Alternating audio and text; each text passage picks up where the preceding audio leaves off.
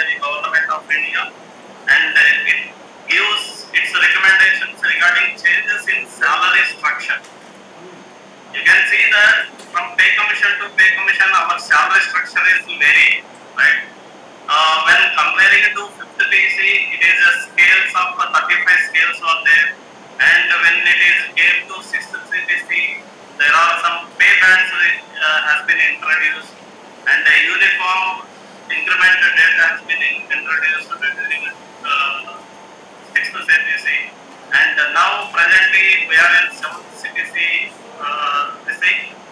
and in seventh CTC uh, pay commission has been recommended the pay matrix. Right.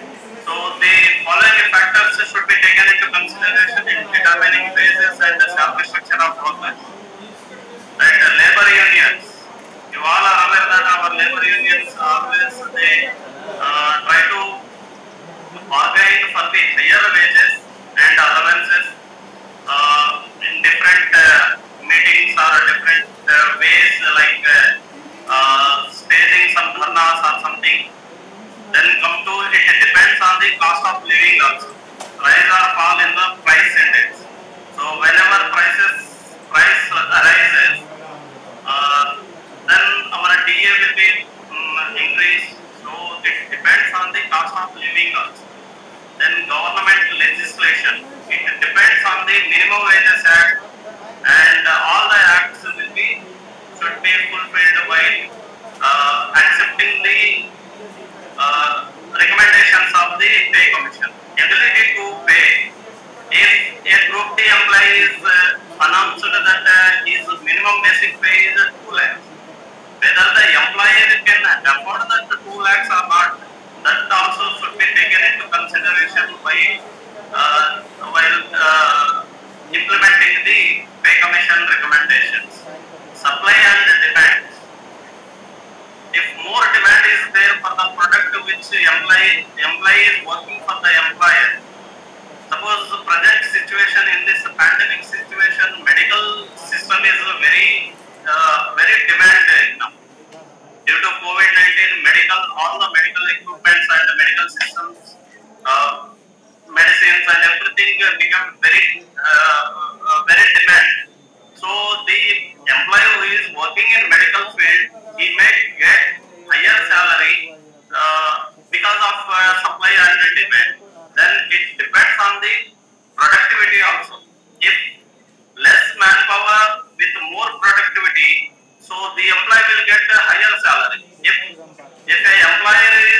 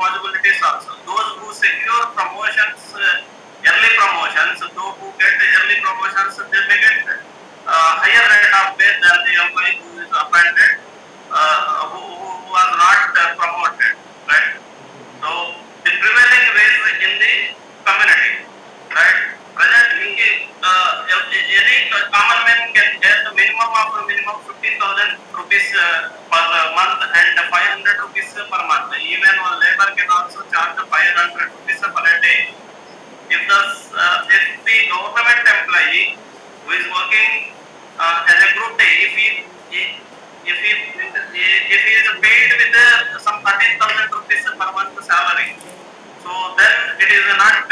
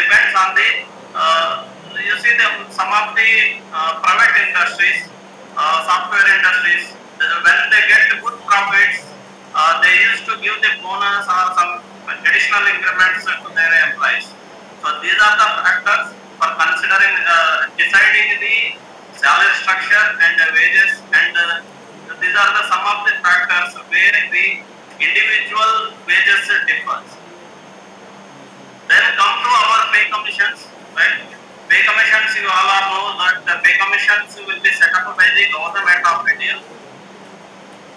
So these are the details of the so far pay commissions announced by the government of India?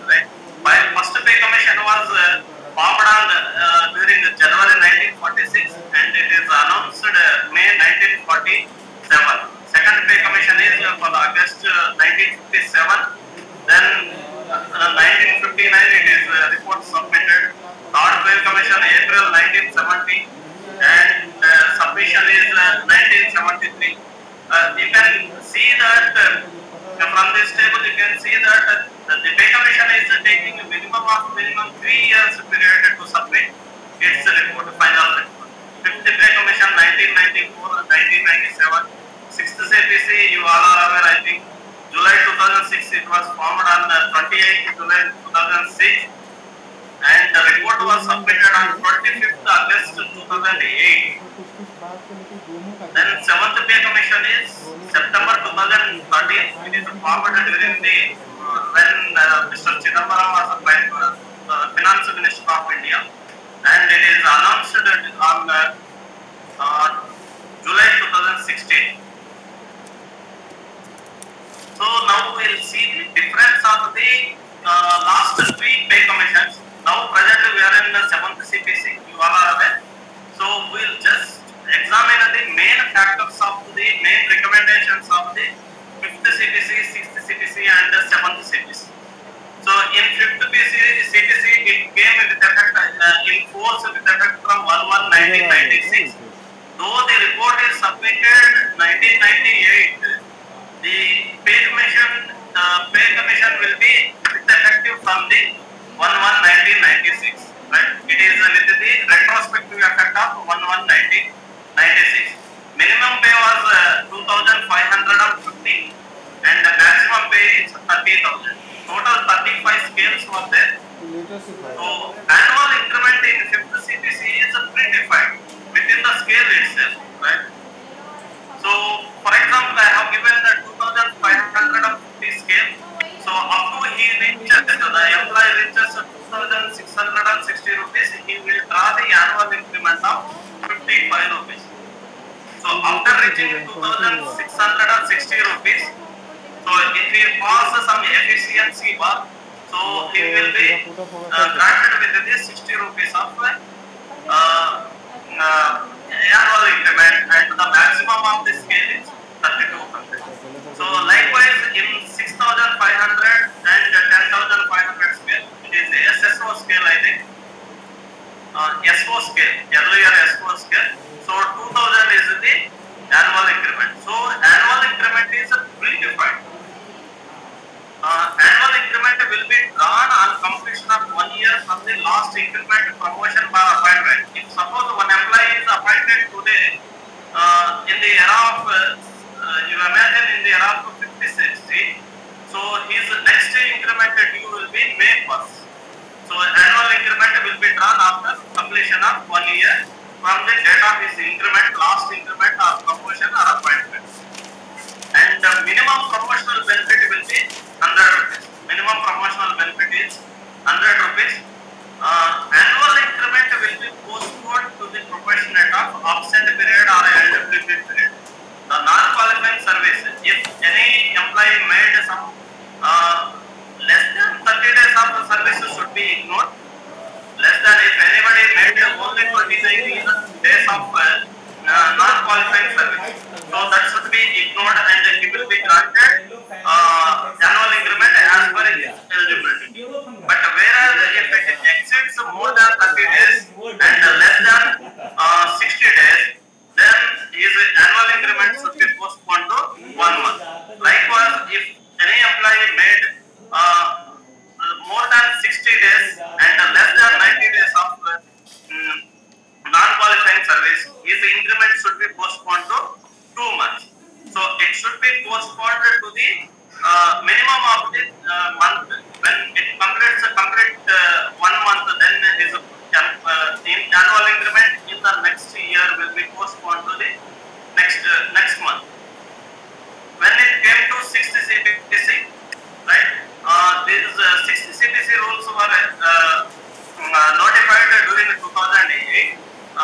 in the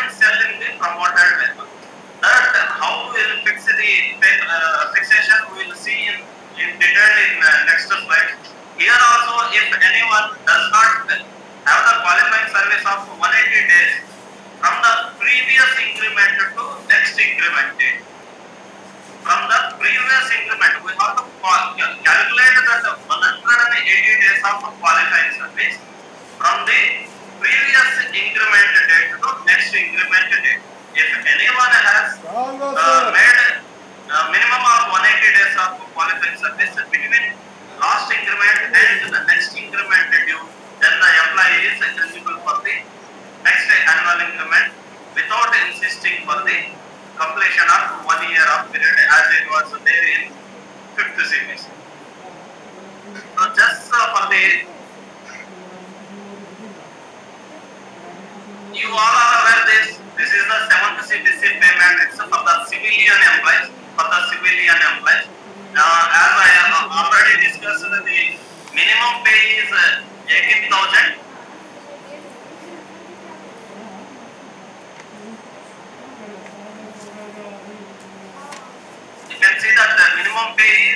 10,000 and uh, maximum pay is 2 lakhs 50,000. 2 lakhs 50,000 and there are 18 uh, uh, levels are there. 18 levels are there and these are the levels are in horizontal lines. 1800 existing grade pay, 1800, 1900, 2024.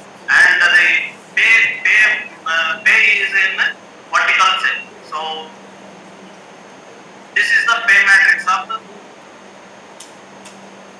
this is the pay matrix of the seventh series.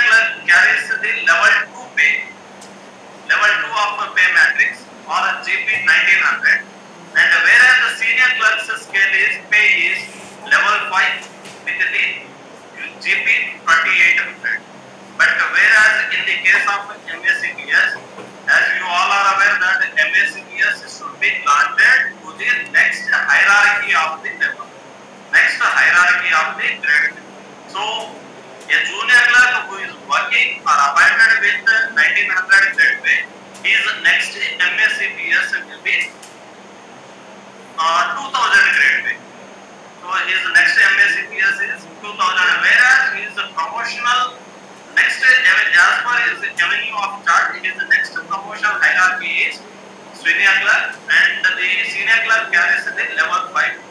So if MACPS followed by promotion within the same level or MACPS followed by promotion to a higher level other than MACPS as I have explained about the junior clerk and the senior clerk.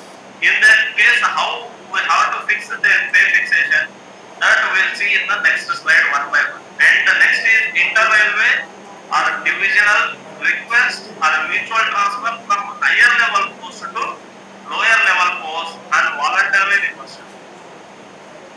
One of the uh, senior clerk or OS, he may seek the voluntary reversion to the senior clerk or junior clerk one-way request because the one-way request we have to consider in only recruitment grades only. As there is no recruitment grade in OS level post, level 6 post, the employee may seek the inter-railway divisional or mutual transfer from higher level to lower level to lower level 6 to level 2 or level 5. In that case, how we have to fix the pay that we will see. And inter-railway divisional request mutual transfer with the same level of post. Right. A senior clerk may seek the uh, inter-railway request to the senior clerk post. In that case, his pay, how he, his pay will be fixed, that also we will see. And the main medical decategorization. Medical decategorization or surplus or stationary. Right. Some of the um, employees, our employees, they are uh, becoming a medical decategorization, right, to the present level of post, and they will be uh, provided with alternate employment on medical grounds to the other post which suits their uh, medical classification. Uh, sometimes uh, due to closure of some sets or printing press or something, uh, so uh, due to redundancy of uh, uh, some posts are, will become surplus. So in that uh, account, how we have to fix the uh, uh, pay. And some of the times, some of the running staff will be posted to the uh, uh, stationary post, right? Uh, like uh, CLI or CLA, they may select uh, selected for the through uh, some examination, then they select for the non-running post. Then punishments on DR action. Punishments with cumulative effect, which is recurring, and without cumulative effect, which is non-recurring. On repatriation from deportation, some of our employees may uh, go on deputation uh, to other uh, departments or other uh, ministries or other governments, state government or somewhere, and promotions, uh, uh, presently we are not encouraging any ad promotions, right? Uh, but uh, ad promotions we are issuing in uh, running category still we are issuing the running categories to the personal approval of the general manager of the uh, railways. So in ad promotions also, if it is ad promotion followed by regularization of the same post or without a regularization. These are the factors where our pay will be changed. So now we will see one by one. On initial appointment, you all are aware that on initial appointment, our pay will be the first vertical cell of the initial pay of the level or mm, uh, level or post minimum of the level for which we have appointed. Suppose a, a group D employee is uh, appointed, yes, S12 group D employee is appointed in uh, level 1. So his pay will be the first uh, first sell of the his pay will be 18000 his pay will be 18000 if anyone is appointed as a uh, JA junior accounts assistant so his pay will be minimum pay will be is uh, appointed with the level 5 so his minimum pay will be 29200 So the pay of the employees appointed on or after first of January shall be fixed at the minimum of the first the level applicable to which um, such employees are appointed. Reference is the para 8 of RBE number 90 by 2016. Right? Uh, without the approval of the railway board, without approval of railway board, we should not appoint any of the employee uh, not uh, with with uh, more pay, more than the minimum of the pay. For example, some of the outstanding sports persons are there. Outstanding sports persons are there, and they are doing very good, uh, and they are bringing laurels to the railways and to the country. In that case, with the approval of railway board, they may be granted with the additional increments. They may be appointed with the by granting uh, two or three more uh, increments. Suppose one employee is appointing uh, with a good outstanding record of uh, sports. So railway board may uh, give orders to appoint the employee other than the minimum of the pay. He may be appointed with the 19,100 also. So unless until there is railway board's uh, approval, uh, none of the employees should be appointed with uh, more than the minimum of the pay is eligible for, with, uh, for the post. Then come to annual increment. The annual increment is shall be specified in the vertical cells of the applicable level in the payment. So example is one of the employees working with the, in uh, level 4. So level 4 is there. So his present pay is 32,300. So 32,300 is presently drawing. If his next annual increment will be next vertical level of the same level only. So his next annual increment will be 33,300 only. Another example is uh, one employee working with the 2800 grade pay, that is a level 5 with the 37,000 and uh, his uh, next annual increment is blindly we have to fix him 38,100. So next vertical cell of the same level will be the next annual increment of the employee.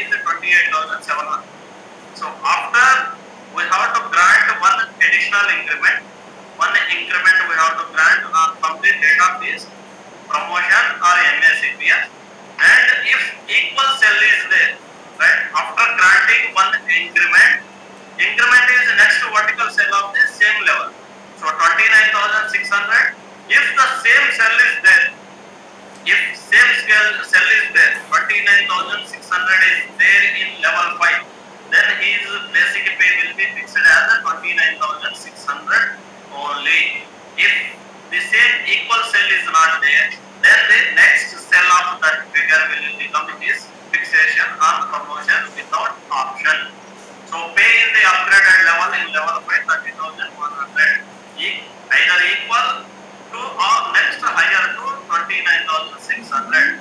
Here next higher to 29,600 is not there. Equal cell is not there. So next higher is 30,100. So the employee pay will be fixed on promotion or MACPS without option is 30,100.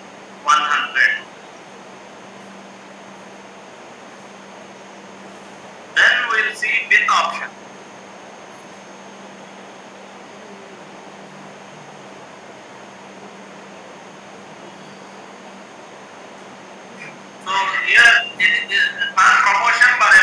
MACPS with option. This is a very interesting thing and uh, most of the times uh, we make errors from personal department side or personal uh, accounts side. Uh, we commit mistakes and errors and which may result into uh, loss to the employees. Very few cases loss to the employees and in most of the cases it is uh, uh, uh, we are paying the erroneous pay or uh, uh, excess wrongful excess payment to the employees and uh, which is leading to the court cases and uh, so many litigations, uh, PNM items and so many litigations. So with option, uh, I have mentioned the circulars also. Very first circular is 79 by 2017. 79 by 2017 and uh, 212 by 2019, 212 by 2019 and 35 by 2020-21 which is issued yesterday only. 35 by 2021 which is issued by Railway Board just yesterday only. Right? So,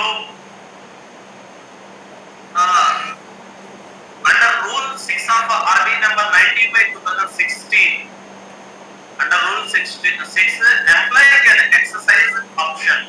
Employee can exercise option to draw his pay, his promotional pay from the date of his next annual increment. From the date of his next annual increment. To draw his annual increment and promotional increment from the date of his next annual increment date. Suppose one of the employees is promoted today. Today is 25th of May. Right? His next annual increment date is July 21st. July 21st. If I grant one additional increment, if I grant one additional increment and the fix his pay in promoted date, he won't get his annual increment on 1st July 2021. Why? Because he is not satisfying the minimum required qualifying service of 180 days of period from the his previous increment to next increment. So his next annual increment will be postponed to either 1st January or 1st July. So to avoid that situation, so we have the provision to exercise the option to exercise the option. Employee can exercise the option from the within one month of the date of issue of the order. And the option exercised once is final and it cannot be reverted back. So the employee and, and in each order, in each promotion order and MSCPS order, we have to invariably mention that you are eligible. You can exercise the option for fixation of pay in terms of serial circular number 79 by 2017. That we have to mention it invariably. Otherwise, tomorrow, uh, some after expiry of after 10 years or decades of period, employee may say that I am the layman and I don't know the establishment rules with regard to the option and I have not exercised my option that time, which is not beneficial to me. So now you allow me to uh, exercise my option. So the rule is very clear that the option should be exercised within one month from the date of issue of the order, promotion order, NSCPS order, and the option exercised once is final and he cannot revert back at a later date. So in the case of submission of the uh, option. So how his pay is to be fixed now we'll see, right? Uh, one employee is working with the existing pay of uh, uh, in level 4 with his pay is 29,600 29,600 and he is promoted with level 5. So I have given here as a promoted on 16th January. You can imagine the today's date also. And his next annual increment is due on 1st July. So fixation should be done as this. Basic pay uh, on 16th, from 16th January to 30th January. So here you you imagine that one technician, two employee, technician two, two grade, uh, technician the uh, level of four, uh, scale of level four, and the technician one is level five. Technician two is level four, technician one is level five. So one technician two is there, he is promoted as a tech one on 16th January. So uh, from 16th January he will execute the higher grade post uh, duties. He will execute definitely he will assume the shouldering higher responsibilities as a technician one and he will be assigned with the of the which uh, which is equivalent to the level 4 technician one duty he will be assigned. So he should be paid with the level 5 payment also. He should not be paid the uh, level 4 uh, scales pay. So as my employee is working in level 5, we have to fix his pay in level 5. And whereas the employee has exercised the option to draw his annual increment and his uh, uh, promotional increment from on his next annual increment date. So here fixation is should be done like this.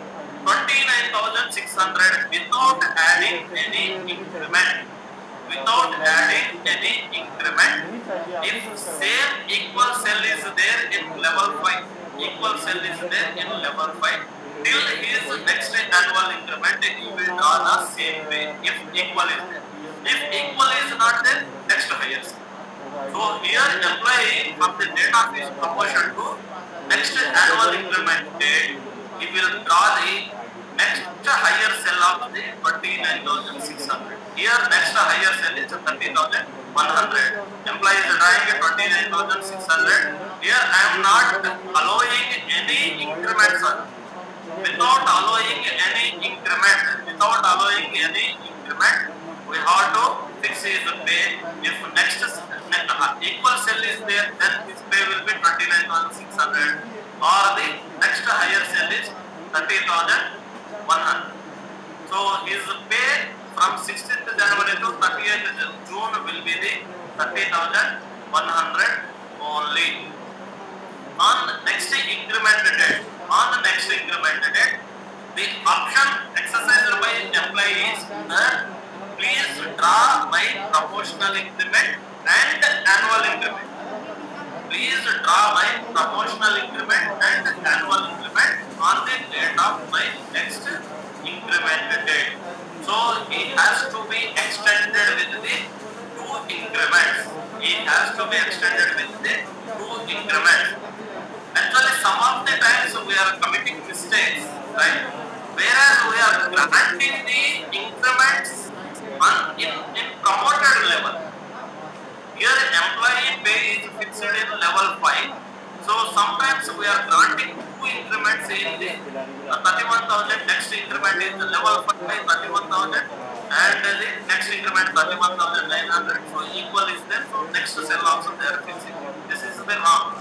So we have to come back to the his original old uh, level uh, prior to his promotion and we have to grant two increments, one annual increment, one annual increment and one promotional increment, one increment. After that, if equal cell is there, 31,000 after granting two additional increment employee pay will arrive to 31,400. If equal cell is there, then his pay will be uh, same 31,400. Here equal cell is not there. So next higher cell is 31,900. So on option from next annual increment date, that is on 1st July, is the employee pay will be fixed as 31,900. 31,900. So sometimes we are making mistakes that immediately after granting, uh, after receipt of uh, uh, option form, we are granting one increment in uh, existing level and we are fixing the pay. Or sometimes we are granting the annual increment and the promotional increment in the promoted level. That is wrong. So the increments, annual increment and the promotion increment should be granted the existing level of the prior to the scale in which the employee is prior to drawing his pay. In that scale only we have to grant the two increments, then we have to fix his pay. If equal cell is there, then his pay will be same or extra higher cell. Uh, for better understanding, other example is 4200 grade pay employee with the 46,200 uh, basic pay. So in, he is promoted with the 4600 and he exercised the option to draw his annual increment and promotional increment from the date of his next annual increment date. Here the net, same cell is there. In 46 also, same cell is there. So from the date of his promotion to next annual increment date, he will draw the same pay in level 7. In level 7. In IPAS, we have to change his uh, designation and his level only. Level and the basic pay will remain same. He won't gain any benefit. After that, we have to come back again and we have to grant one annual increment on the date of uh, next annual increment date. One annual increment and another one promotional increment. Then, if equal cell is there, equal pay. So here equal cell is there, so 49,000. If the equal cell is not there, next higher cell of the pay will, uh, higher cell will be his fixation on promotion from the date of and next annual increment. This is with regard to the uh, fixation of pay on promotion and uh, uh, MSCBS with option. Next,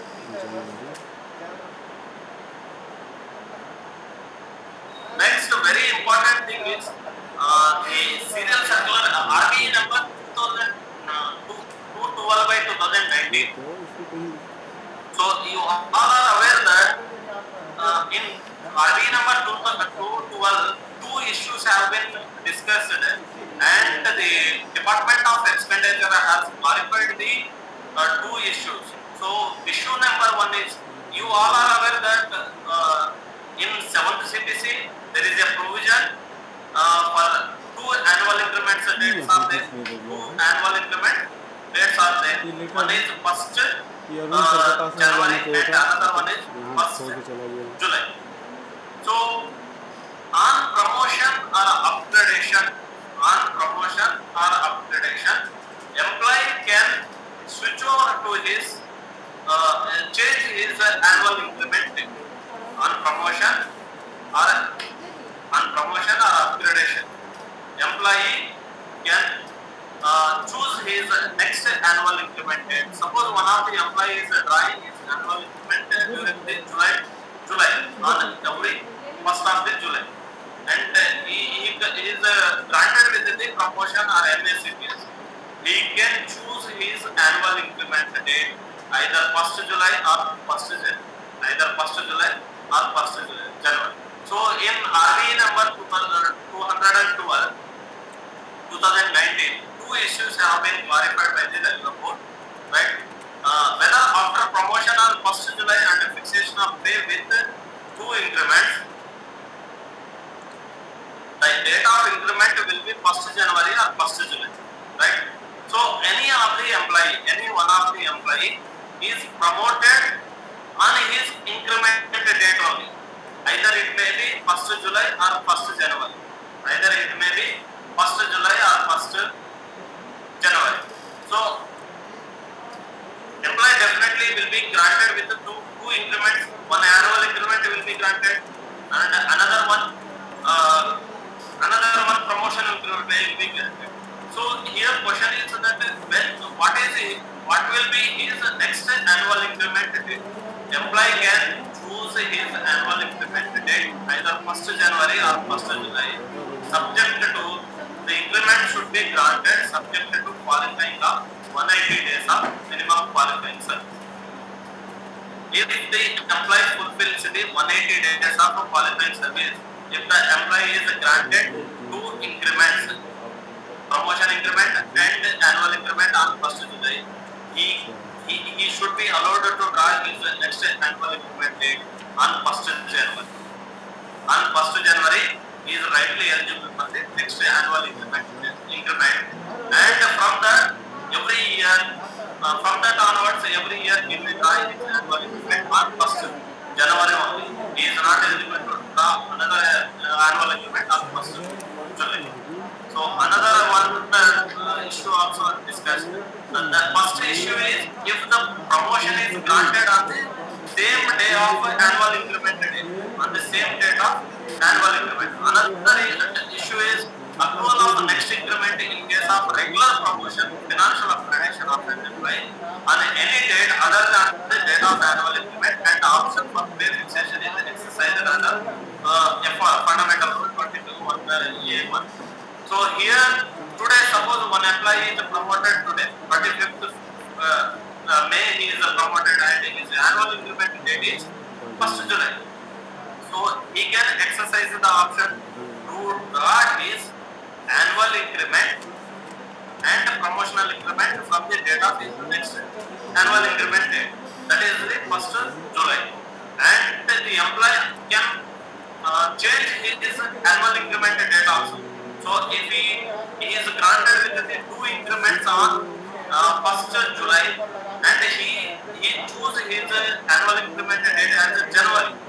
So employee is rightly eligible for another increment on 1st January 2022 subject to subject to that he should fulfill the six months of qualifying service of condition. And yesterday itself, yesterday itself, uh, Railway Board has issued another one, uh, uh, RDE number 35 by 2021. So earlier we have discussed that option, option for pay fixation should be exercised within one month of the issue of the promotion order or MSCPS order. But here, due to implementation of 7th CPC recommendations and due to mm, some, so there is some uh, uh, representations from uh, union side and employee side. So Railway Board has given another one opportunity, has extended the option opportunity for the previous cases also. Those who have not exercised their options, they can now submit the option to uh, option for uh, withdrawal of their increment and the change of the annual increment date as per the uh, 35 by 2021 circular and the three months time has been given to the employees to exercise the. So once again board has reopened the option uh, uh, option uh, this thing choice. So employees who are promoted till now their date from 1 1 2016 to till now and those who have not exercised their option so far due to ignorance of rules or due to some uh, something. So they may submit their option now also. So board has given from yesterday onwards it will count the three months time. Within the three months time they can exercise their option for fixation of pay. MSCPS followed by promotion with the same level. So if the uh, one junior clerk is there, right, is granted with the third uh, junior clerk will appoint with the uh, level 2 post, second MSCP will be 2000 level 3 and uh, third MSCP will be uh, second MSCP will be 2400 and the third MSCP will be 2800 level 5 so after granting one uh, uh, MSCPS after granting the MSCPS with the 2800 grade pay employee may employee may get is a regular promotion. In that case, the employee is not eligible for any fixation of pay. Employee is eligible for only uh, designation benefit only. You want to get any benefit and should not be granted with any additional increments. But most of the times, most of the time, due to ignorance of the rules or due to lack of knowledge, uh, some of the personal department or accounts department, uh, we are allowing the additional increment uh, for which are followed by the MACPS also. So MACPS followed by a by regular promotion to a higher level of post, right? The same uh, junior clerk appointed with a level two and he is granted with the uh, uh, granted with the one MSCPS of uh, 2000 grade pay, that is level 3, and followed by regular promotion, senior clerk 2800 grade pay. In such cases, how our fixation should be done, just, uh, just will try Here, if an employee already granted with the MSCPS with a level 5 and trying the basic pay of rupees, his employee substantive grade pay is level 4 original grade pay is level 4 but he is granted with a level 5 with the MSCPS. At the time of MSCPS definitely will uh, grant one additional increment. We will fix his pay as he is promoted. So definitely we would have been granted one additional increment. So promoted to next uh, level 6 his fixation should be made as, as the employee is already granted promotional benefit of one increment at the time of his or MSCPL, he should not be granted with any additional increment. We should not allow any additional increments. Once MSCPS, MSCPS followed by regular promotion, we should not allow any increment benefit. As the employee is executing the duties of work of level 6 post, so his pay should be fixed in level 6 without granting any additional increment. Here, example, हाँ, employees after granting MSCPS fixation, employee is presently drawing 38,100 pay in level 5 as he is promoted with the level 6 post. If the equal cell is there, his pay should be fixed in level 6. If equal cell is there, his pay will be same. He won't get any benefit other than the uh, his uh, designation benefit and level uh, level benefit. But whereas here uh, equal cell is not there. So next cell without granting any additional increment. I am once again I am repeating देना without granting any additional increment. देंगे we have to fix ये his जो pay in the हैं सुधार level. देंगे वही यहाँ भी If equal cell, if equal pay which is uh, trying before his promotion is there, his pay should be fixed in the equal. Otherwise, the next cell, higher cell of the in the promoter level will be the this in this case, in this case, the employee will uh, employee करने में उसकी जगह थोड़ा on promotion. Will be fixed as 38,600 only. We should not grant additional increment. If we grant additional increment, it will lead to the leakage to the revenues and uh, higher pay to the employee which is not eligible. So without granting any additional increment, we have to fix his pay in the promoted level.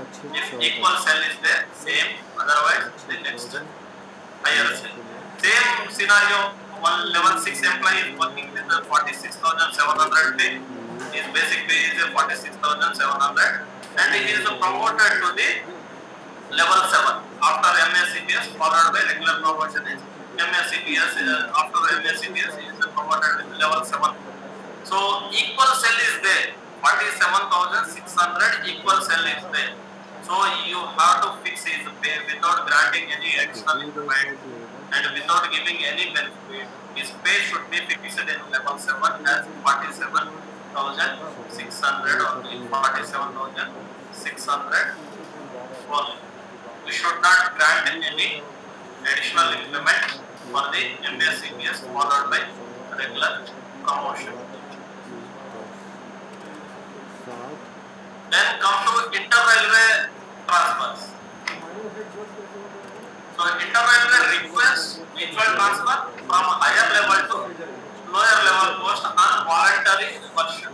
As we have earlier discussed that one OS may seek uh, inter-railway request transfer on his own violation to the post of uh, level 5 or level 2 also where there is a direct recruitment is there, direct recruitment quota is there, where then he can seek the uh, transfer in that grade only. He cannot uh, uh, seek the transfer in intermediate grade, he cannot seek the transfer.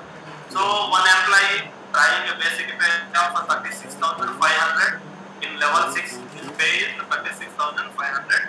He took uh, voluntary reversion inter-railway request transfer or divisional request transfer or mutual transfer to level 5. He is coming back to level 5. So what we have to do when the employee is promoted, we are granting the next higher scale. When employee is promoted or issued with MSCBS, he is granting with the next higher scale, uh, higher uh, next higher cell of the pay. Here the case it is reverse. So we have to come back to the level 5. In level 5 we have to see whether equal pay is there or not. 36,500 is there. If 36,500 is there, then his pay will be fixed. There is no gain, no loss. Right? 36,500 is there, there is no gain, no loss. But here 36,500 cell is not there. So employee pay will be fixed to the next lower cell of that pay. So next lower cell is 35,900. So his pay will be, basic pay will be fixed at 35,900 and uh, subsequently he will draw the annual increments in the level 5 on. In some of the cases where I see that uh, after voluntary retirements, uh, voluntary reversion also, we are extending the PP, personal pay. The uh, difference of the pay of uh, 35,900 and uh, 65,500, here it is the difference of 600. Some of the cases, some people are extending that uh, uh, pay, they are allowing as a personal pay. 600 that personal pay, is, uh, allowing as a personal pay. That is very wrong because employee is came on his voluntary reversion and the employee is executing the uh, executing the duties of lower grade not the post which he was uh, uh, earlier uh, uh, working. He is executing the post of uh, uh, lower grade post. So the employee pay should be fixed in the level 5. Uh, some of the participants are raising their hands. I will clarify all the doubts after completion of this PPT. Please. So, uh, so the pay should be fixed in the lower grade post for which the employee is executing his duties. So, in the similar case, one level 6 employee is there. Suppose the SSC is there. As there is a DR quota in the JE, uh, level 6 post. So SSC working with the 49,000 uh, grade pay, he sought uh, voluntary reversion or own violation, one pay transfer or mutual transfer uh, with the JE. So after uh, his fixation should be made after uh, affecting his IRR, his fixation should be as the similar cell is there, equal cell is there, 49,000 equal cell is there in level 6. So he will, he won't gain any loss. He won't gain any loss. Only he will go for his uh, promotion and his uh, designation will become uh, JE1 as the equal cell of equal equal cell is there. Otherwise his pay would have been 47,600. So in interrailway, next is uh, in interrailway request mutual transfer with the same level of post. If one JA is there, junior accounts assistant is there, uh, I think which is uh, 2800 grade pay, and he sought uh, mutual transfer or interrailway request transfer or divisional request transfer in the same grade pay. So same uh, level 5 to level 5 is going on level 5 to level 5. So there is no change in the pay and uh, the uh, service rendered in the uh, previous railway or unit will be counted for the purpose of uh, granting of annual increments and uh, MSCPS of. So So inter-railway request or mutual transfer or inter-divisional request or mutual transfer with the same level of post, there is no change in the pay after transfer also.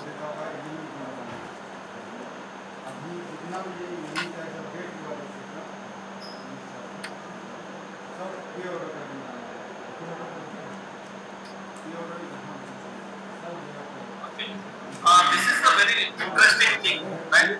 Uh, medical decategorization surplus stationary posts. Uh, fixation of uh, medical decategorization uh, employees it is always uh, leading to some complications and uh, litigations, court cases and something, right? So railway board is very clearly clarified uh, by the RBI number 171 by 2019. So we will see one by one, right? Non-running staff, if any of the non-running staff like a technician three or somebody or trackman or uh, any any other than running staff, if they found unfit for the present uh, post and uh, uh, they, they, if they are provided with the alternative employment on medical grounds, then there is no change in their pay. There is no absolutely there is no change in their pay and their pay will be protected. In in case of medical decategorization as well as in the case of surplus staff also. Surplus staff also they are rightly eligible for the service protection and the pay protection on surplus also. On the redeployment or on providing the medical decategorization staff on on providing the alternative employment they are rightly eligible for the protection of pay. Then come to running staff. Okay, uh, while the employees, the running staff consequent upon medical decategorization or postings to stationary posts are eligible for 30% of running pay element benefit. They are eligible for the running pay element benefit. And the as per the railway board's directions or guidelines or instructions, uh, the employees, the employees who are medically decategorized are made surplus should be provided with alternative employment in the same level of the post which they are uh, working prior to their medical decategorization or service. Here the employee, suppose one LP course is there, is working with the level 6 with the basic pay of 36,500. On medical decategorization, employee is eligible for the 30% of pay element, 30% of running pay element. Okay, so here his basic pay is, existing basic pay is 36,500 in level 6. 30% running element will be, on calculating 30% of 36,500 will arrive to 10,950 rupees. 10,950 rupees. After adding that uh, 30% pay element to his existing basic pay, the total will arrive to 47,450 rupees. So, on, on, on, on providing the alternative post, the employees are eligible for the fixation from the 30% fix, uh, uh, this fixation from the date of their work, uh, medical decategorization. Employees are eligible for the fixation from the date of their medical ca- decategorization. So his basic pay should be fixed in the in the same level. In the same level, we have to fix that it should be fixed at forty-seven thousand four fifty rupees. Forty-seven thousand four fifty rupees. If the equal cell is there, I'm not finding that forty-seven thousand four hundred and fifty rupees cell is not there. Here the cell is forty-six thousand two hundred and the next cell is forty-seven thousand six hundred. So here the shortage of one hundred and fifty rupees is there, right? So we have if equal cell is there, forty-seven four fifty is there, we have to fix his pay as forty-seven thousand four hundred and fifty rupees only. If equal is not there, next below that forty-seven thousand four hundred and fifty is forty-six thousand two hundred rupees. And the remaining amount of difference of the uh, fixed uh, 47,200, 46,200 and 47,450 that is the 250 rupees should be allowed as a personal pay.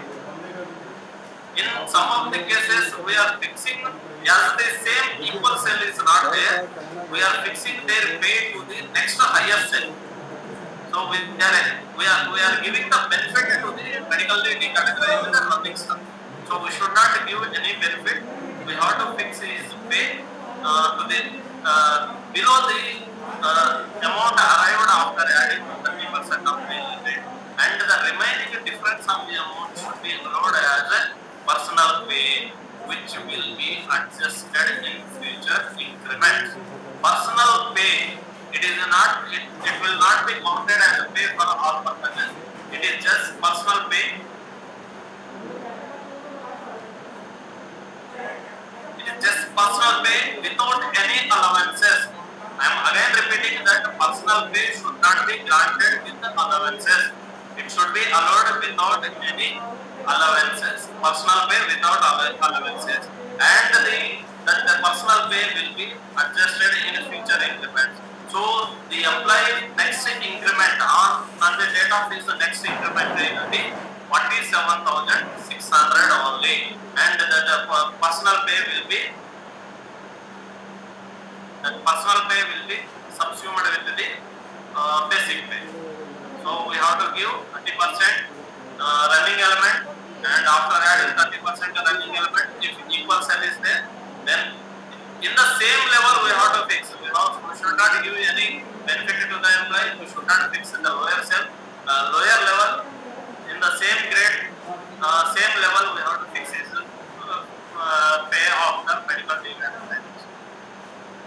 So say if equal cell is there, same pay, otherwise the next uh, below the cell of the, amount arrived and the remaining balance amount will be paid as a personal pay till he, that pay is adjusted in uh, next increments. So this is the uh, fixation of about the medical leading categorization staff of running post. Then come to punishments on VR action. So this is also one of the major issues where we are uh, committing sometimes uh, we are committing mistakes. Right? If an employee drawing basic pay of thirty nine thousand nine hundred in level six, thirty nine thousand nine hundred in level six, he is issued with the charge sheet and uh, punishment of annuity or punishment of reduction of his existing pay. His pay, his present pay is thirty nine thousand nine hundred by one stage, one stage below, two rupees thirty-eight thousand seven hundred for a period of two years with cumulative effect. For better understanding, I am here am mentioning these colors are with the red color. Red means which indicates the danger, right? Which indicates the danger. So with the cumulative effect, with the cumulative effect, uh, with the effect of 1 1 20 21, say that the annual increment of the employee in the 1st July 2021. So one employee is issued with the charge sheet of reduction of one stage of pay that is presently he is arrived 39,900 his pay is reduced to 38,700 And for a period of two years, two years with cumulative effect, with effect from one one twenty twenty one, and his uh, next annual increment date is first July twenty twenty one. So one one twenty twenty one, his pay is thirty nine thousand nine hundred. But as due to punishment, he will the one pay less, one pay less. So thirty-eight thousand and seven hundred he will draw. As on first July, he is eligible for one increment. Annual increment, he is eligible for one annual increment. But the uh, punishment is with cumulative effect or recurring. Cumulative effect or recurring. So he, he, he- is not eligible for any annual increment because it is the punishment of cumulative effect. So on 1 7 2021 also he will draw the 38,700 only. Again 1 7 2022 he is eligible for actually he is eligible for another annual increment but we won't allow him another annual increment because the punishment is cumulative. On 1 no, 1 1 2023 after completion of his punishment period, the employee original pay will be restored. Employees, uh, employees pay prior to his punishment, imposition of punishment, whatever pay is will be restored back without giving the two years annual increment. Here the employee solid- solidly losing his two an- annual increments forever. Due to cum- cumulative effect of punishment, the employee is losing the two annual increments forever. He won't regain the, the increments forever. So with cumulative effect means employee is not eligible for the next annual increments. Then punishments with the DR action.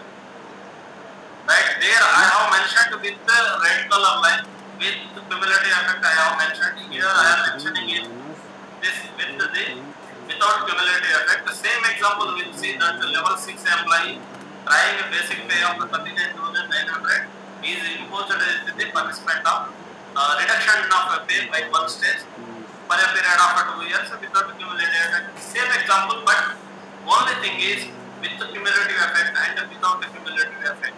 So here, uh, when employee is uh, issued with the cumulative without cumulative effect, here you see actual the employee due for 1 1 2021 as on the date of uh, imposition of penalty. Employee is due for 39,900 basic pay, but his pay will be reduced to 38,700 due to punishment.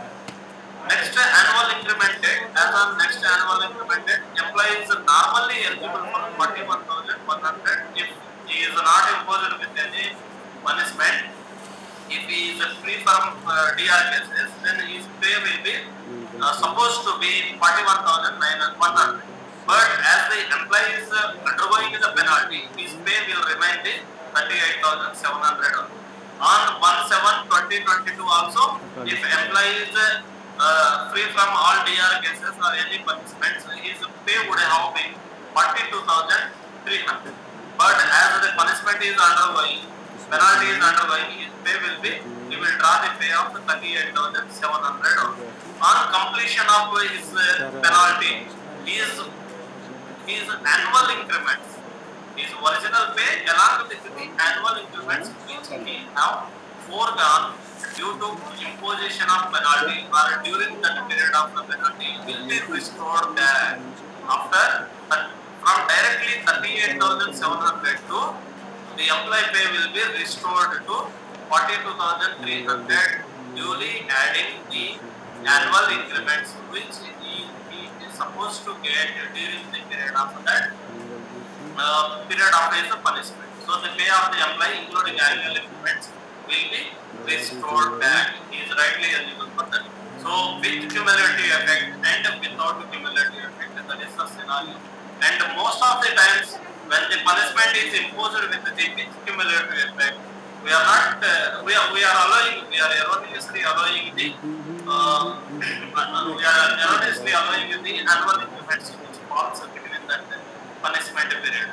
That we should be cautious when the, punishments uh, uh, while entering the punishments and the fixation of the completion of the uh, punishments. also.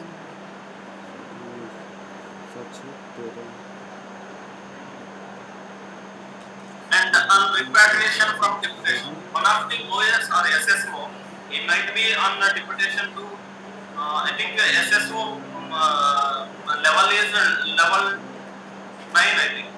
So, maximum SSO, if suppose one of the chief is working with the level 7 or SSC working with the level 7, right? He went on deputation to RVNL with the level 12 post.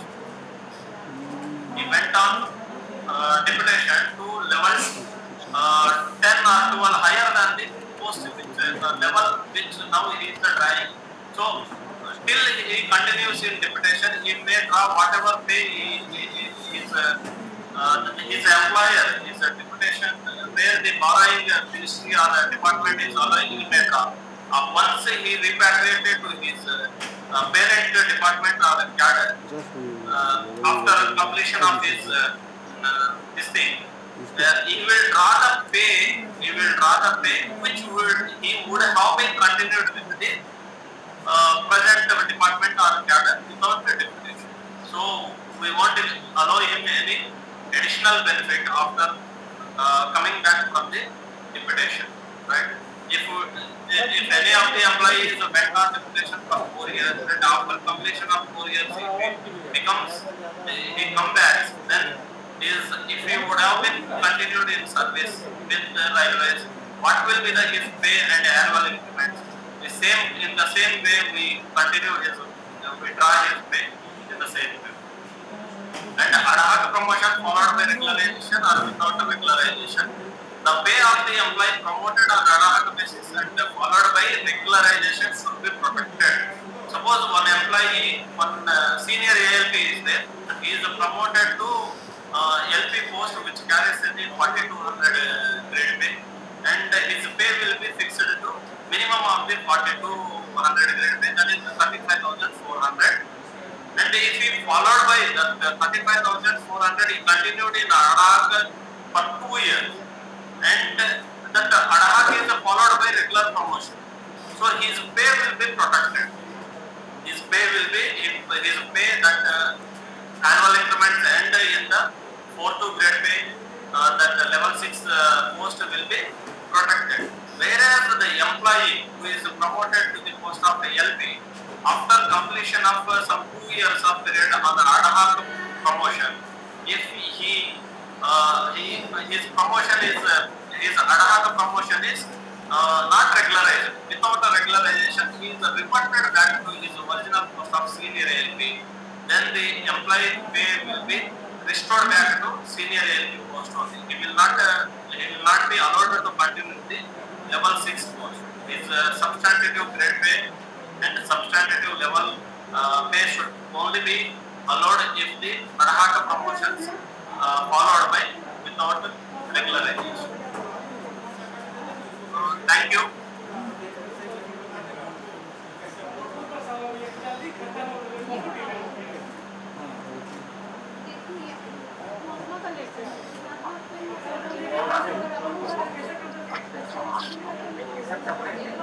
One question. Uh, please.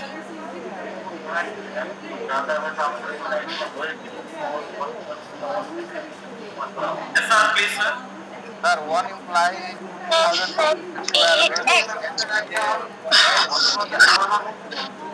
Some disturbance is there. Sir, one employee is appointed as a J 2012. Uh, 2012, okay, 6th CBC.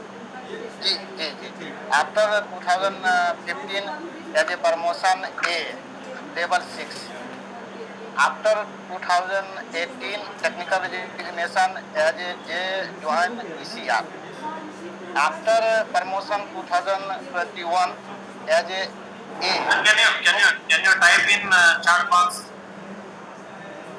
uh, Otherwise, otherwise just note down my number and you just uh, text me. I will clarify. तो MSC MSC भी count by कौन सा date का sir वो MSc भी होगा sir आप मेरे को टेक्स्ट कर दीजिए मैं I am I am giving my number right I am sharing my पर number just okay sir I shared my number. Just uh, note down and uh, text me whatever uh, qualification you want. Text the dates will be very complicated. Sir, one question, sir. Please, sir. Question, sir. Hello As on 1-1-2016, Yes, sir. an employee in level 8 is Okay. granted financial upgradation, MSCP. So which date, sir? 1-1-2016. Okay, right. His date of next increment is 1-7-2016. Yes, sir. So if he opts of the date of next increment, and validity takes they will be counted from 1-1-16 to 36-2016. Will that be okay or will he shortfall? Sir, from- sir, it is very clear that one increment to one increment to another increment, six months qualifying should, uh, service should be there. Sir. Yes, sir. So it is applicable for both the period, right? One month 2016 to one seven 2016, he should qualify six months of service. If the employee is remained even one day of non-qualifying service, his increment should be postponed. Okay. Now, he has qualified there is no uh, no LWP, sir. Yes, I have saved my number, my WhatsApp number. Please text me. Sir, hello, sir. Uh, this dates noting Hello. and uh, clarifying these things will be difficult. Sir, sir, number please. Sir, number. Sir, mobile number please. Nine, nine Hello. zero one three one Hello, sir. and seven zero one three seven one six zero nine. I have already posted. uh, Second time also I have posted. Hello? Hello? Uh, hello? Hello? Hello, sir?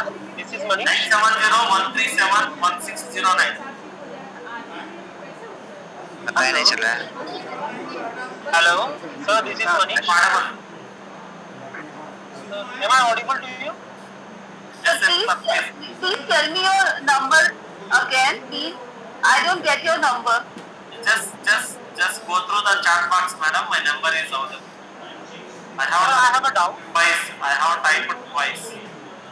Okay. hello sir Please, sir i have a doubt uh, please, sir.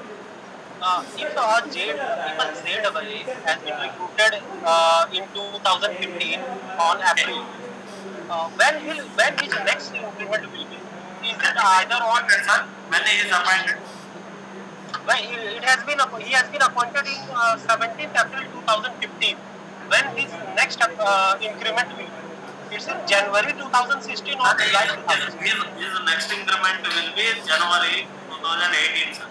Because he Sorry, is 16, 16, sir. Huh? He has been appointed. He has been recruited in 2015, April 2015. April 2015. Yes. When his next increment? Hello? Well, he is an acting demand 1 2016.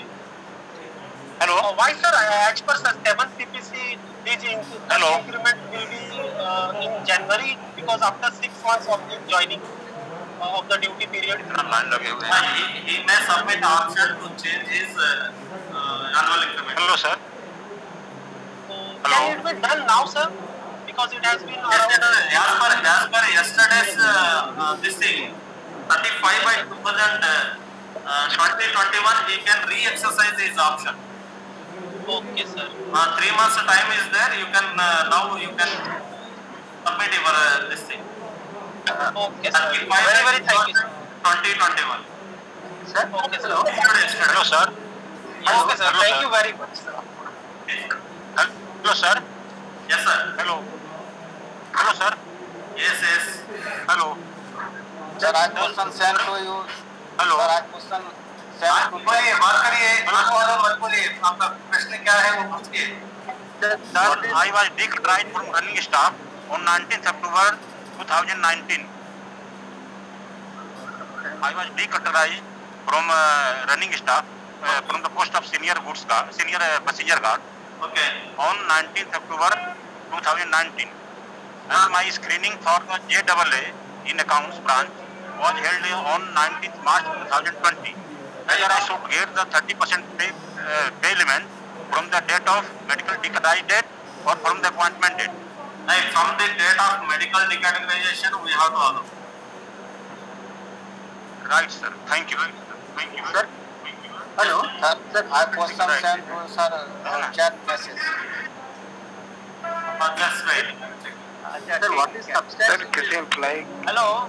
Hello sir hello substantive pay में ये I am working as A J A A right so my post is J A A and I am granted with the MSC PS of level 6 so my my original pay is MSC PS with level 6 my original pay is level 5 my original pay is level 5 where I am granted with the level 6 of MSCPS. So my substantive pay will be level 5.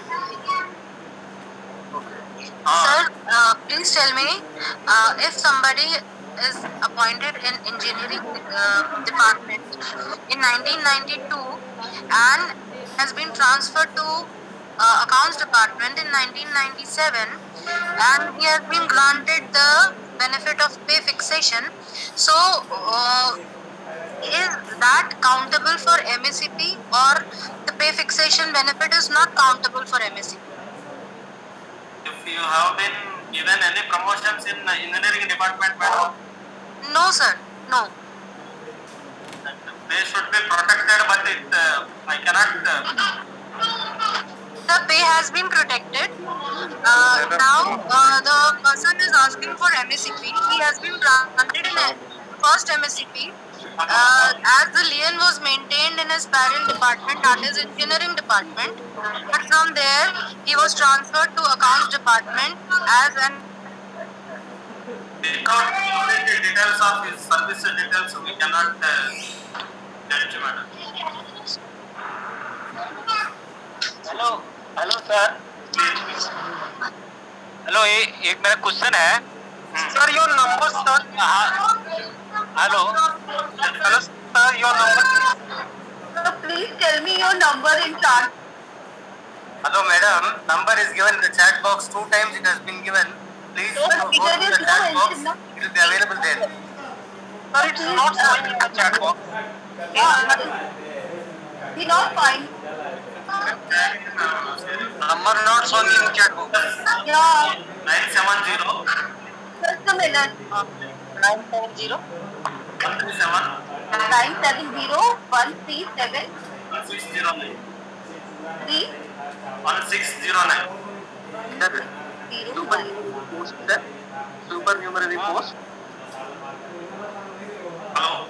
Ah, supernumerary post, sir. Please. Uh, supernumerary means if uh, one LP goods is there, right, he is uh, medically decategorized. So he cannot be so uh, so called he cannot be called as a uh, good, uh, LP because he is found unfit for that post. So for which we have to pay the salary at any cost. So we cannot charge with the revenue if he is not executing LP, LP duty. So for whom we will create a supernumerary post. And the supernumerary posts are personal to the employee for whom, whom it is uh, created.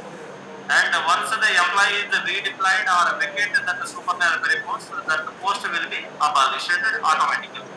sir, this post is created only for on medical category. Yes, sir, for, for, the- for the surplus staff also we can create. And uh, on promotion. Uh, Wait, sports- wait, wait, come for- Also, can it be accommodated That is, on sports quota? Also we have to create. For out, outstanding sports persons out of the promotions, can create this supernumerary post. Sir. Thank you. Sir hello hello एक minute sir मेरा एक question है the.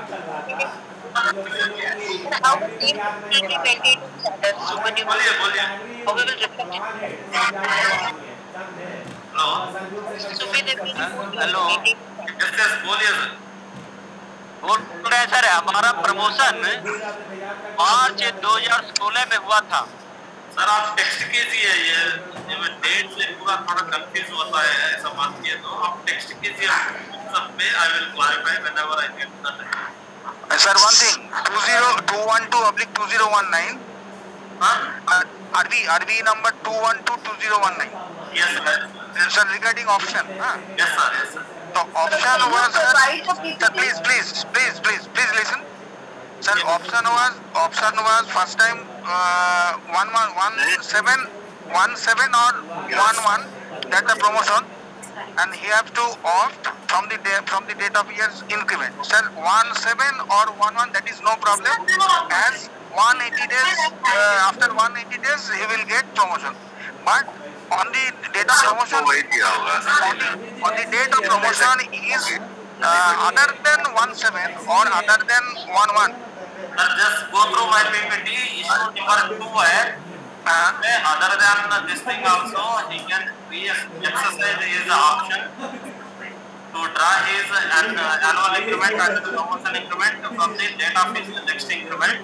uh, He can change his.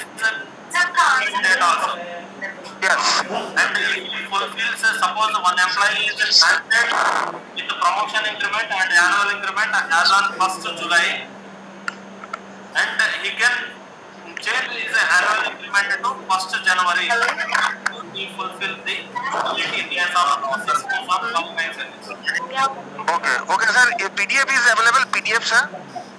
हाँ, कौन share करेगा सितारा दे Okay, okay, sir. Kindly, kindly, kindly but direct them, sir, as PDF.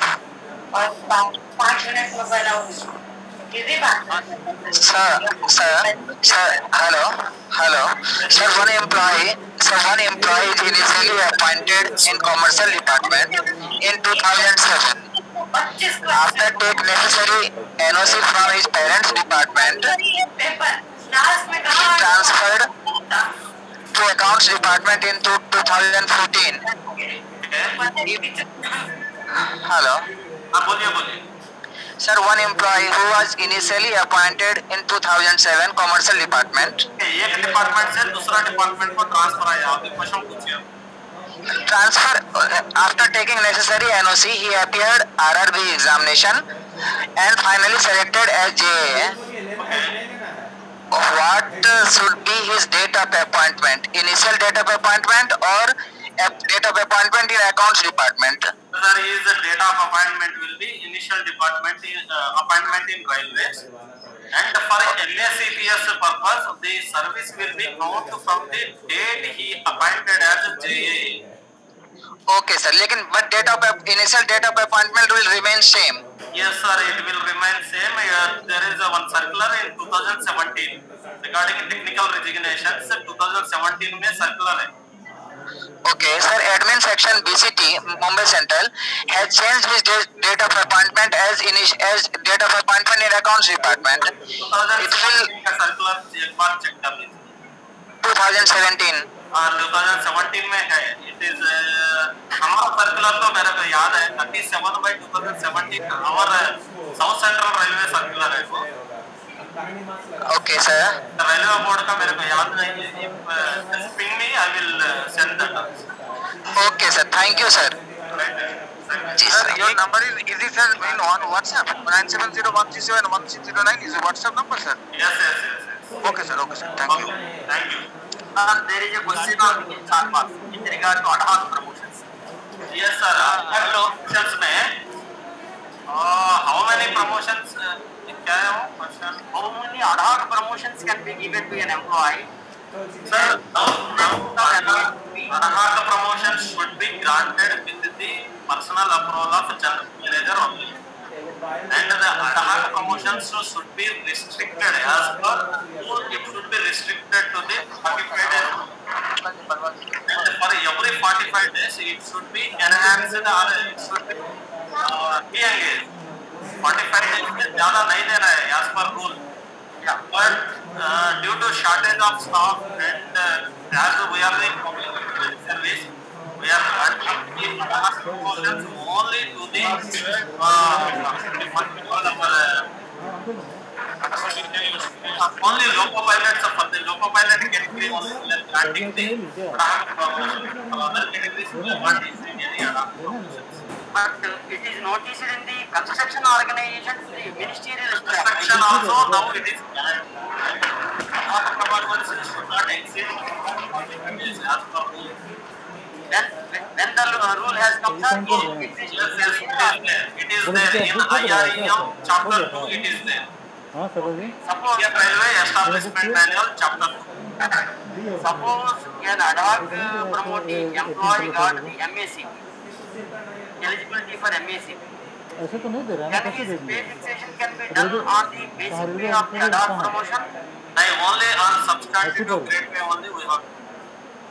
Because hoc promotion is not permanent. If the ad promotion is followed by regularization, if it is followed by regularization, then he is rightly eligible for the pay fixation also. And that promotion, uh, regular, ad promotion, regularized, followed by regularization should be counted as a promotion for the purpose of MSCPS. if the ad hoc promotee declares or got the MACP into the same grade pay or the same no, how how we will get in same grade pay how we will get when he is regularized regularized means he is, he is already earned the promotion if he is a uh, running staff then there is a chance of getting the MACP in same grade okay. uh, so for clerical hello may not be possible sir हाँ sir. Sir sir कोई staff जो है, है उसका promotion six PC में हुआ है seven PC में ए, वो स्विच ओवर करता है एक एक सात से एक एक एक सात सोलह से। तो- अच्छा ठीक ठीक है।